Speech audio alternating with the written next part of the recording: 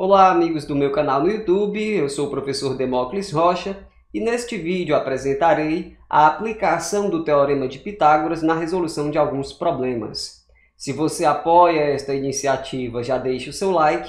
Se você quiser ficar sabendo sempre que a gente lançar um novo vídeo por aqui, inscreva-se no canal e acione o sininho das notificações.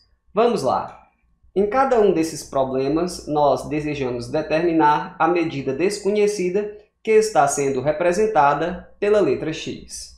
Neste primeiro caso, temos um triângulo retângulo, nós percebemos isso pela presença do ângulo de 90 graus, que está sendo representado aqui por um quadradinho.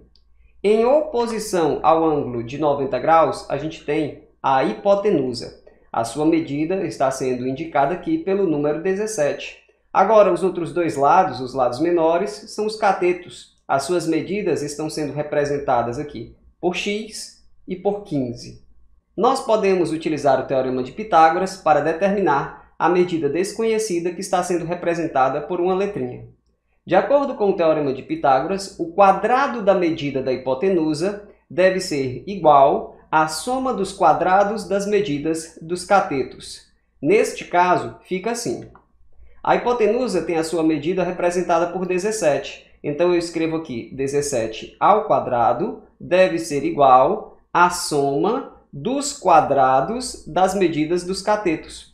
Um dos catetos mede x e o outro, a sua medida está sendo representada por 15. Então, neste caso, 17 ao quadrado é igual a x ao quadrado mais 15 ao quadrado.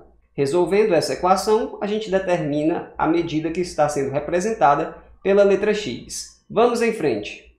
17 ao quadrado é 17 vezes 17. Fazendo a conta com calma, você observa que o resultado é 289.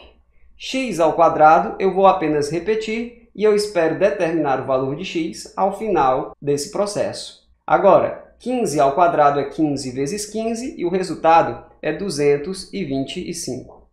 Para determinar o valor de x, eu quero que ele apareça sozinho de um dos lados da igualdade.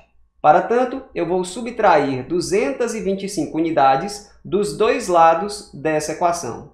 Do lado direito, subtraindo 225, sobra apenas o x ao quadrado.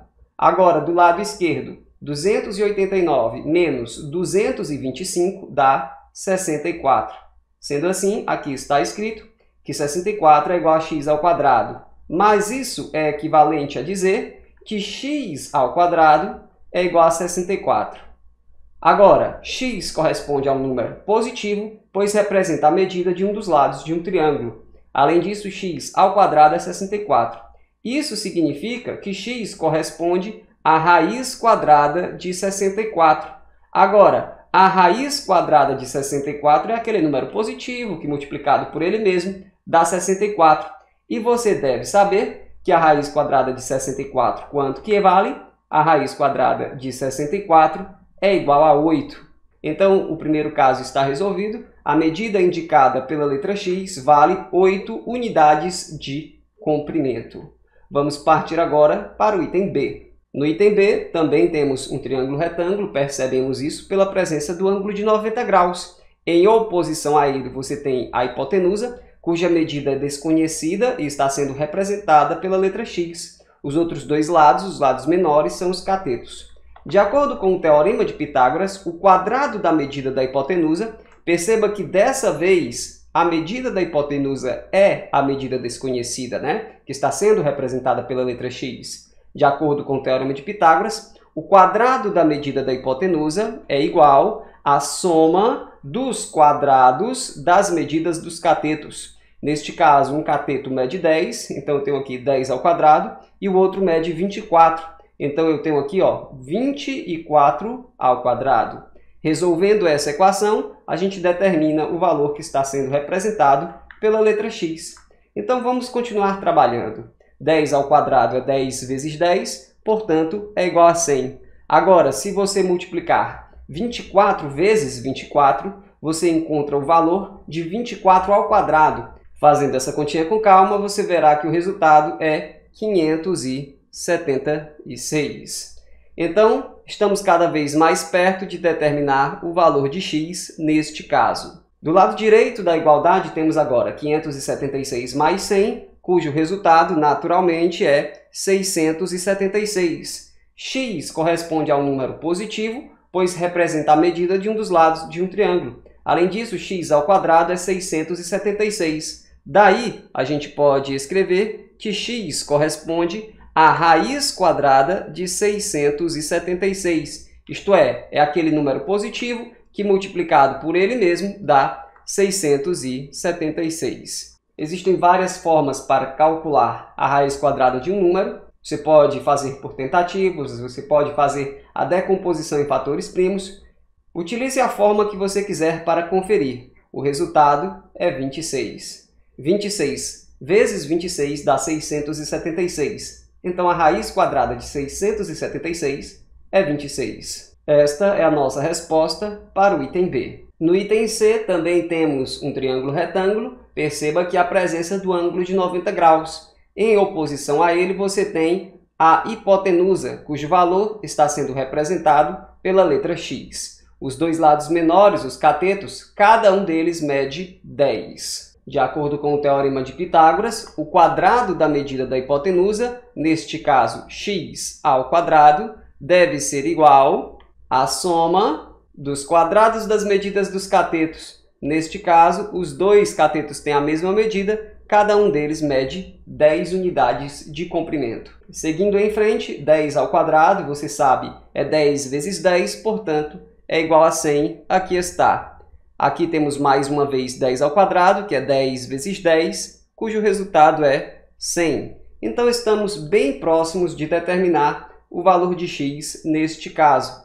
Do lado direito da igualdade temos 100 mais 100 e a soma vale 200. Assim como nos outros casos, x corresponde a um número positivo. Além disso, x ao quadrado, neste caso, é igual a 200. Isso significa que x é igual à raiz quadrada de 200. Se você usar o método das tentativas, você vai perceber que a raiz quadrada de 200 não é um número inteiro. Você perceberá que 14 vezes 14 é apenas 196. 15 vezes 15 é 225.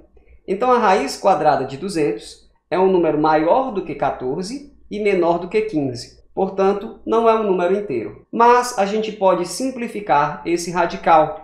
Basta escrever o número 200 como sendo 2 vezes 100. É fácil perceber que 200 é o mesmo que 2 vezes 100, e eu escrevi 200 como sendo 2 vezes 100, porque o número 100 é um quadrado perfeito. A raiz quadrada de 100 vale 10. Então, eu posso escrever esse resultado como sendo 10 vezes a raiz quadrada de 2. Exatamente, quando você tem um número quadrado perfeito, como é o caso do 100, multiplicando aqui dentro da raiz quadrada, ele sai apenas como o valor de sua raiz quadrada. A raiz quadrada de 100 é 10. Então eu escrevi 10 aqui fora. O número 2 não é um quadrado perfeito, ele continuou aqui dentro da raiz quadrada. Então a nossa resposta para o item C é x é igual a 10 raiz de 2 unidades de comprimento. Dica para você, sempre que em um triângulo retângulo os catetos têm a mesma medida, por exemplo, no caso aqui, cada um deles mede 10, o valor da hipotenusa corresponderá a medida do cateto multiplicada por raiz de 2. Então, neste caso, 10 vezes raiz de 2. Se ambos os catetos medissem 5 unidades, a hipotenusa teria como medida 5 raiz de 2. Se ambos os catetos medissem 20 unidades, a hipotenusa teria medida igual a 20 raiz de 2. Você pode verificar utilizando o teorema de Pitágoras. Esse resultado aqui pode ser generalizado. Bom, esse vídeo aqui foi feito para te ajudar. Se ele te ajudou, eu peço que você deixe um comentário com uma carinha sorrindo. Eu vou gostar de ver. A gente fica por aqui. Um abraço e até a próxima. Tchau!